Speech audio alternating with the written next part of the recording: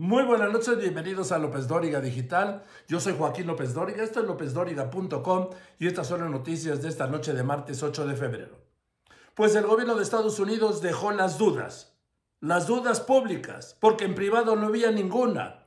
Esta noche está expresando pública y oficialmente su preocupación sobre la reforma propuesta por el presidente López Obrador, la reforma eléctrica, porque asegura, promueve el uso de energía sucia y cara esto lo está diciendo una declaración de la Embajada de Estados Unidos en México, que está a cargo de Ken Salazar. El amigo Ken lo saludó el presidente López Obrador en una declaración oficial difundida por la misma Embajada estadounidense en nuestro país y dice textualmente, el gobierno de Estados Unidos ha expresado reiteradamente al gobierno de México preocupaciones sobre la propuesta actual del sector energético de México promover el uso de tecnologías más sucias, anticuadas y caras sobre alternativas renovables y eficientes pondría en desventaja tanto a consumidores como a la economía en general.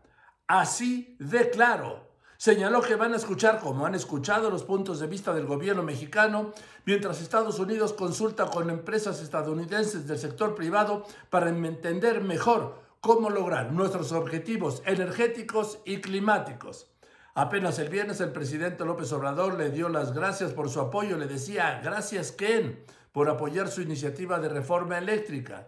Y no solo son las tecnologías, también la preocupación del gobierno del presidente Biden por la falta en México de un clima que garantice las inversiones estadounidenses. Esta exigencia de crear un clima favorable para sus inversiones lo plantará su enviado John Kerry hoy al presidente López Obrador cuando se reúnan en Palacio Nacional. La Secretaría de Salud reporta 6.643 casos positivos de COVID, con lo que suman ya 5.167.000 casos y reportó 132 muertes, pues por el puente de ayer, ¿sí? para un total de 309.889. Mañana estaremos rebasando las 310.000 defunciones. El secretario de la Defensa Nacional, el general Luis Crescencio Sandoval, informó que dio positivo a COVID y por segunda vez por la mañana asistió a la reunión de seguridad en Palacio y luego a la mañanera también con el presidente López Obrador.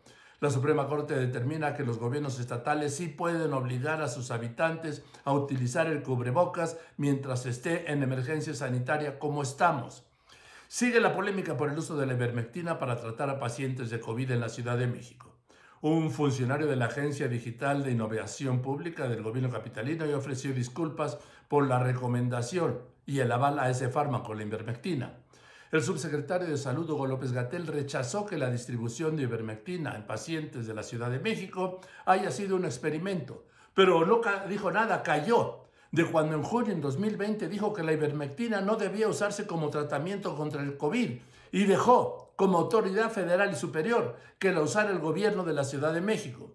El presidente dijo que las investigaciones y críticas sobre el uso de la ivermectina es un nuevo ataque del bloque conservador contra su movimiento. Y en automático, obviamente, Claudia Sheinbaum declaró lo mismo, que hubo un cónclave de altos jerarcas conservadores con algunos personajes para atacar a su gobierno y al presidente López Obrador. Le digo, todos se escudan en los ataques al presidente López Obrador.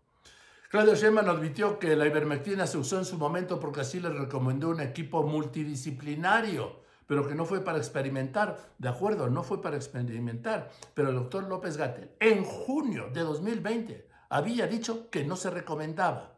El presidente defendió otra vez a López Gatel por las muertes en la pandemia, pues en realidad con el exceso de mortalidad eh, casi medio millón. Dijo que en ese caso todo el gabinete iría a la cárcel, incluso él, por el manejo de la pandemia. Quien fuera secretaria del Medio Ambiente del sexenio de Ernesto Cedillo, Julia Carabias, me dijo que rechaza tajantemente haber otorgado autorizaciones ilegales para extraer piedra caliza de un predio en Playa del Carmen. También rechazó la difamación en la columna que le hace el presidente López Obrador contando, dijo, una historia sesgada que le conviene y que usa para agredir a ambientalistas que no están de acuerdo con sus proyectos y le respondió que ella no tiene doble moral ni doble discurso.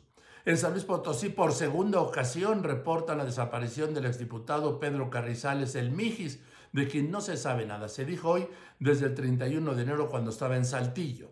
La cinta El Callejón de las Almas Perdidas del gran Guillermo del Toro, nominada a cuatro premios Oscar, entre ellos la mejor película. De hecho, del Toro está nominado como productor. Otro mexicano, Carlos López Estrada, fue nominado por su trabajo en la película Raya y el último dragón.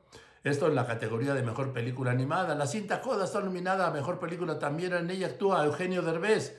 Esta tarde me dijo que la gente se identifica con la película Coda porque muchas veces hay que decidir entre seguir tus sueños o quedarte con tu familia. Y que rompe un estereotipo. Ya no es el bracero, ya no es el mexicano, ya es un músico de origen mexicano, pero educado en Berkeley, maestro de escuela. En este momento el dólar interbancario se está cotizando en 20 pesos con 61 centavos y en ventanillas esta noche se está vendiendo en 20 pesos con 96 centavos. Yo soy Joaquín López Dóriga, este es lópezdóriga.com y usted está informado. Gracias.